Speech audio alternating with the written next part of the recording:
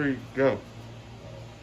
All right. In this episode from Ink Geeks Presents, our Be Heard series. So this is our interview series that we do with amazing tattoo artists. So we're here with Chris right now. Obviously, he's in the middle of doing his thing right now. So Chris, tell us the name of your shop, man. Where we located at right now? Um, we're over here in Milwaukee on the east side. Uh, it's off of uh, off of Murray and Greenwich. Shop is called the Ghostlight Tattoo Parlor. Okay. And now tell us what, what went into that to that thinking of the name of Ghostlight Tattoo Parlor. What does that name mean to you? Um, the name itself comes from two different meanings. Um, one is like a, a ghost light is something that is like left on in like a theater for like ghosts to like perform when everybody's not in. It's kind of like um, it's a it's an homage to like the dead that like still act through death Dope. for the Okay. ghosts. Um, and then also ghost light is like a star that has died, but we still see it from Earth because that light hasn't ended yet. Dope. Okay. Um, I didn't come up with the name. Zach Black came up with the name. Mm-hmm. Uh, we were gonna change uh, Serenity when we changed it to River West Tattoo, either the Ghost Light or River West Tattoo. Everybody voted for River West, so when I got this place, I asked Zach if it was okay if I used that that idea from him. Okay. I really fell in love with it. Okay. Definitely a, a deep name there. And uh, so we're just gonna get started with some other questions as well. Tell us how long have you been tattooing, man? I've been tattooing for 10 years. Uh, I started in Milwaukee. Uh, Ruben Alcantar and uh, Marcos kind of like guided me along in the very beginning, you know, just out of my house. And uh, had support through like friends and family. And then Paris Crosley picked me up at a convention. So my first shop was uh, at Hustle Hands, and Paris kind of like taught me most of what I know, and uh, the main reason why I'm here today. Okay. And I'm always having like Ruben in my life too, All right. Nice. consistently. That like you know embedded local support Right. from like you know Ruben's been tattooing for 20 plus years since he was like a little kid in his dad's shop. You know what I mean?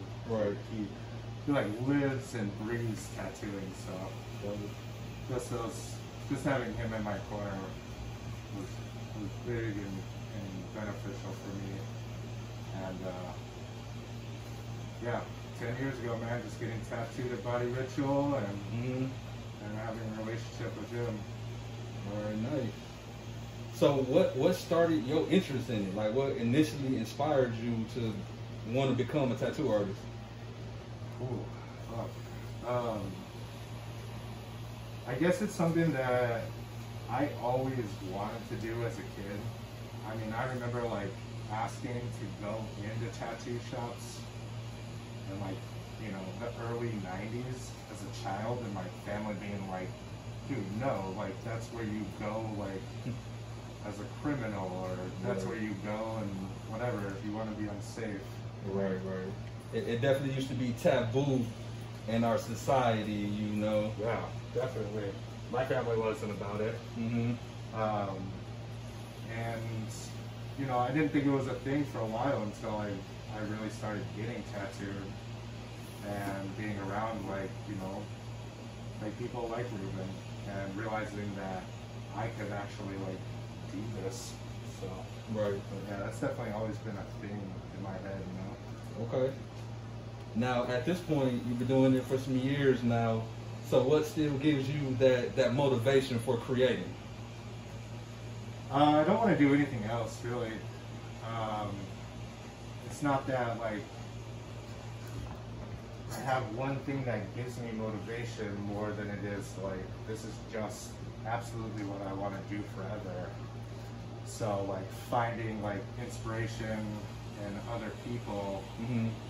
and um, just always like trying to be better and learn Mm-hmm. and never like settling for like the place that I'm at Right. is basically like just keeps me, I guess, motivated. Right. Keeps keeps driving you. Yeah. Uh, it sounds like evolution. That's a huge word for us. We always want to be constantly evolving. Yeah, absolutely. Mm.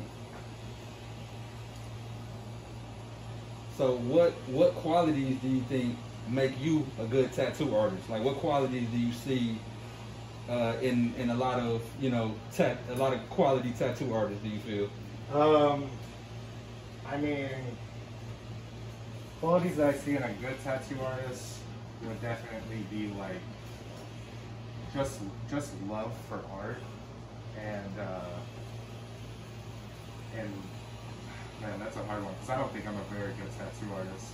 Um, but We seen a lot of your work, man. I think you're being a little modest right now. I mean, when you say that, I think of like you know like Michael Perry and uh, and like the the patience that I see in in people who like I look up to and um, being able to overcome the craziest like situations and obstacles in their life uh-huh. like I see like makes them great, makes them like really really awesome tattooers. You know, like they just don't give up in the face of anything. Right. You know, and like they care about art. Yeah. They care about their clients and what they're putting on them. They're like they're tattooing for 10, 11, 12, 30 years down the line of that tattoo. Uh-huh. You know, that's what makes a great tattoo artist, I think. Right. Yeah, that's that's amazing. And uh, speaking of newer tattoo artists, we saw recently uh, on your Instagram page that uh, looked like you were working with a newer apprentice. Yeah, recently took on a new apprentice, uh, Andre Colbert. Um, I met Andre a few years back when I joined the, the Walker's Point uh, collective. Um, he'd been asking me from from the very beginning to apprentice him, and I pretty much told him what I tell everybody else is like, don't do an apprenticeship Uh, uh, just go like figure it out, do it Okay. yourself, because that's what I did. And then like also like get into a shop immediately. right. Um, through a lot of that, you know, like he started listening to little things that I would say, like, oh well, just do this, go, you know, go paint this or go look this up or whatever. And uh, he was doing that actively and and sending me stuff. So he like, you know, he's like, hey, what what should I buy or whatever. Uh-huh. And I'm like, oh well, this is like this, that like, you know, that are good and high quality. And he's like sending me the receipts, and I'm like, dang, he just he just did it. All right, that's tight. Like, and then uh, he got like some practice skin and did a practice skin tattoo at his house, Okay. and uh, sent me the picture. And I was like, you're you are like really good already. This is crazy. Okay. And then we started like uh, painting the murals together, and like he's just asking me again, like, "Come on, man, I want to apprentice you. I want to do realism, like all this." And I was like, "Oh yeah, that's that's sick. Like I, I see what you're doing. It's tight." And then, um, you know, his his best friend or one of his really good friends is Chacho Lopez, and he was like, "I think Chacho's gonna let me at Walker's Point." And that's when I knew I was like, "Well, man, I really have to like Yeah. make this move now." and it was kind of like a transitional period for the shop where suddenly we had a space available. Okay. So, you know, I did the thing. I went into Walker's Point. I talked to Chacho. I talked to Julian. I kind of like asked him, like, yo, I know this is your homie. I know that you said you would do it, but I have an open spot. He wants to learn realism. Like, and they were like, yes, absolutely. Like, let's, I want- we want to see Dre in there too. So Yeah. That's kind of how that happened. All right, that's dope right there. So it sounded like he has one of those key elements that you were just referring to, as far as he has just a passion for for the art. Yeah, he um, he has absolutely shown that tattooing is what he wants to do forever. To me, that is the most important step in becoming a tattoo artist because this isn't like um, a come in and go out type of deal for me. Um, if you're doing it, you're doing it, you're doing it forever. It's like a for life decision, Mhm. you know what I mean? Because it takes so many years to like master it and, and pay homage and show respect and do like good tattoos on people, Right. you know? Right. Um, he he does several other things. He's incredibly talented at, Mhm. and uh, you know, he while he has his own businesses going and his own like production going and tours, he just expressed to me, like I said, that with all that going on, all he wants to be and all he sees himself is as a, is a tattooer. Um, and like, so I, I tested him a little bit, and there he is right now. And I said, like, look, you gotta, you know, there's a few things you gotta get done. Number one, I gotta? Uh, number two is gonna be, uh, you know, doing the watercolor, uh, traditional tattoo artist work and reproductions of that. And then number three would be uh, recreating a photo on printer paper with colored pencil. Okay. And like, so he did that right there, which is that baby. So that's all colored pencil right there. And then he did the other watercolors in like a week and a half. Okay. And I was like, okay, man, you are Okay. super talented, you're Right, super that's all right. ambitious, like, That's all. We gotta get footage of that right there. yeah. So How y'all doing? What's up? Good, good. this is uh, the guys who do Ink Geeks on Instagram. Oh, word. That's Yeah. what's up, man. They're right here. Yeah, pleasure to meet you. All right, nice to meet you too, man. Yeah, look. Just getting some good, good words about you right here. Oh, that's what's up. He's just being nice. I'm not nice, you know. That's not. All right, so transitioning a little bit, we all know that 2020 has been completely unpredictable so far. Yeah. and it'll definitely be one that's going to be remembered in history. yeah. All right, so uh, I wanted to ask you about s- some of these great murals we've been seeing popping up in the city. So when did you decide to either do your first mural or participate in one? Um, you know, I did I did some murals with uh, Walker's Point Collective, and uh, you know, one of my biggest influences on that would be Chacho Lopez. And working with him back in the day, we did uh, Nomad, we did Sprecher, we did outside of uh, Cafe Hollander, and um, he just really like sparked this like like just go out and do it. Like it's something Chacho always says. You're like, hey, how do you do that? And he'd be like, just do it. And you're like, I, I, I hate you because you're so good at it, and you're just telling me to do it. Like, okay, fine, whatever. Right. And it's discouraging at first, but then like you listen to him, and it works. So I was on River West, uh, you know, neighborhood page, just reading stuff as I do late at night when I'm bored. And um, a building owner that owns this building on uh, Holton and uh, and North. It's like just it used to be an old like convenience store that somebody ended up dying at. They closed it down and it's just been storage. It looks boarded up. It's like a parking lot. It's just an unused space. And it, it kind of looked messed up. Uh-huh. And he asked like if anybody was interested in uh, doing like a George Floyd memorial. Just like let him know. Right. And I just commented like, fuck yeah, let's do it. And then uh, there was like a ton of interest. And I was like, cool. Uh, he didn't really know what to do with all that information. Okay. It's just like, you know, just a property owner. Right. He doesn't like organize that type of stuff. And uh, he's like, well, anybody interested, like, please meet up at the property at this certain time. Um, I showed up and two other people showed up, and we kind of were like, none of us wanted to do it alone. Mm-hmm. Like we were into it because the community is into it. Um, so we were like, well, how do we how do we do this? Let's start an event. Let's in, let's buy the paint.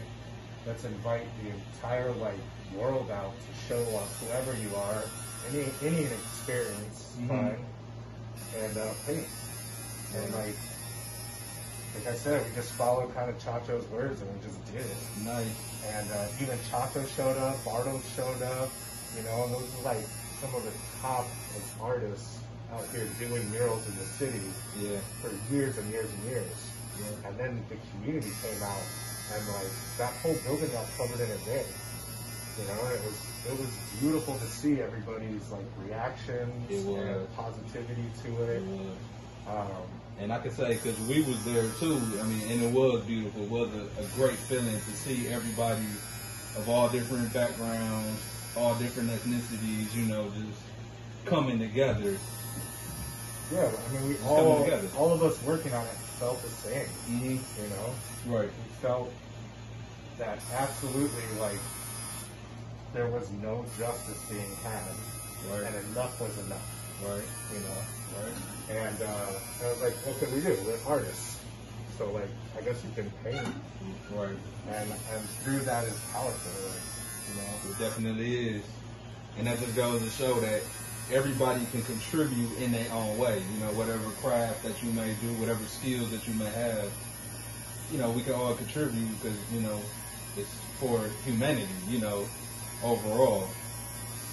And um, that actually uh, leads me into right into my next question was was what kind of initially inspired your passion for the the social justice element of it.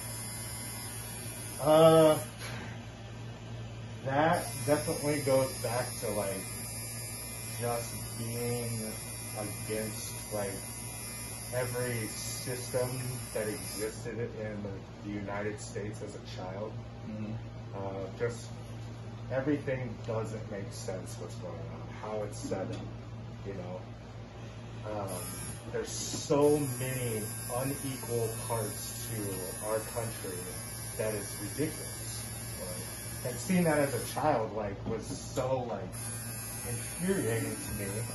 And and saying something about it as a kid and then being adults, like, just deal with it, you know. Right. So then I, I'm like, whatever, a little rebellious kid, and just listening to Rage Against the Machine and like listening to Zack De La Rocha and like, you know, that transition to like going into like uh, other music and underground hip hop that was just that that's what they spoke about. Right.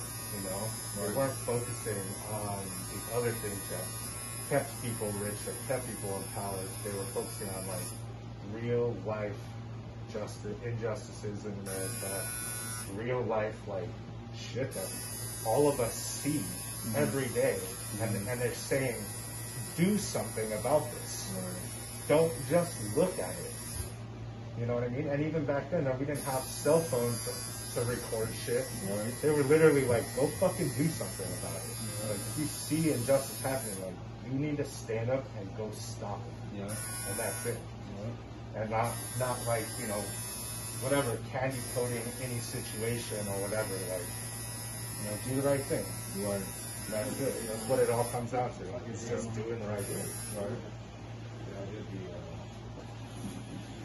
So, uh, also to piggyback off of that, um, is it ever uh, emotional when you're doing, you know, those type of murals or even some tattoos? Does anybody come in with the, a request that kind of brings sparks emotions up out of you? Yeah, absolutely. Um, it's hard, you know, as an artist to not be empathetic. You know, we already, as tattoo artists, have kind of like turn off certain things because we're putting people in a, a certain amount of discomfort and pain. Right. But you can't turn it all off. You know what I mean? Right. People have stories and, and reasonings for their tattoos that are sometimes incredibly emotional and deep. Mm-hmm. And when you form a, a client and artist relationship, like there's a certain amount of trust there that this tattoo is not only gonna like come out and represent what they want, but that they can also share with you their story. And that Yeah. happens a lot and it gets very emotional. Um, when it comes down to the murals, man, that is like almost raw, pure emotion a lot of the time, especially because you're outside in the elements and you're you're in neighborhoods on walls that are in public spaces. Like anybody can go to them, and lots of people do, and they get emotional and like you share that with individuals, excitement, you know, sadness, and uh, finally like finishing some of these like seems so like so sad. It's so like I don't I, I don't want to be painting all this stuff because I don't want these things to be happy. Right. You know what I mean? Like, but we're gonna do it regardless because like that's what brings attention to these things in a lot of fashions as far as like the news. True. You know what I mean? Like, you wouldn't have a lot of these news stories if artists around the country and around the world weren't literally throwing it in your face. Right.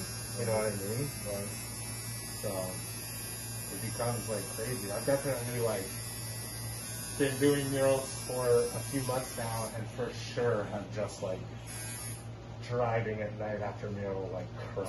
Yeah. You know, I was doing let it all Breonna Taylor. sometimes. Yeah, yeah, We were doing me and Ruben doing Breonna Taylor's mural, Mhm. and her best friend's mom, that grew up as Breonna Taylor, lives in Milwaukee and lives in Harlem. Oh, shit, yeah. Yeah, so like she came up, and uh, I think her name was like Miss Candy or something. Like came up and was like, I knew Breonna. I watched her grow up. Mhm. She's my daughter's best friend. And right there was like, fuck. Like you're always confronted with that. Right. At that same mural, we had a couple drive up and like be like, wow, this is really beautiful. We love what you're doing. What are your next plans? And I was like, I want to do a Joel Acevedo. And the dude was like, that's my son. And it was like, we love you. That had to be kind of mind blowing. And it's right like there. right there, like tears, Right like yeah. emotion, like, and it's something that like as as humans, like it's important to have those experiences and to let it happen. Like, you know, like I don't know, art is an ex, an ex, human expression. It's gonna be super emotional, and definitely has been for me. Yeah. So. Yeah, that's, it's dope. It's dope to see that you just you passionate about these things, though. Um, it's good to see that type of emotion, and like I said, out of anybody, because no matter your background or whatever, you know, we all have a lot of. It's more. Uh, we all have more things in common than than really differences, Yeah. you know. But we don't seem to see that being highlighted as much as the differences sometimes. Yeah, and as one of my favorite musicians say, we're still not even really close to sharing things. Yeah. That's fucked up. Right. So, um, what other type of art do you enjoy? Obviously, we heard you mention music a, a, a lot. The music is very important. Um, I do really enjoy uh, all performance art. Um, you know, live music is is really awesome. Um, but I like watching like dance. Oddly enough, like live performance in that way, ballet, um, going to the theater, Okay. like like the Lion King is tight. Straight. You know, like seeing the Lion King on Broadway is beautiful. Like having those type of like experiences in art, Yeah. watching large production stuff. Um, definitely street art though. Yeah. You know, that's very raw, and I can go and see it whenever I want, Right. and you see it regardless driving around. Like that's that's always fun. you know I Right. mean? Absolutely. Um, yeah, I mean, it's all life is art. You know what I mean? That's true. Um, it is. It's never as much as some people may want to keep it in a box and just black and white. That's completely not life. You know. Yeah. 'Cause you- It'll throw you for a loop. If you go by life thinking about it like that, it's gonna throw you for a loop a time or two, that's for sure. Yeah, absolutely. And uh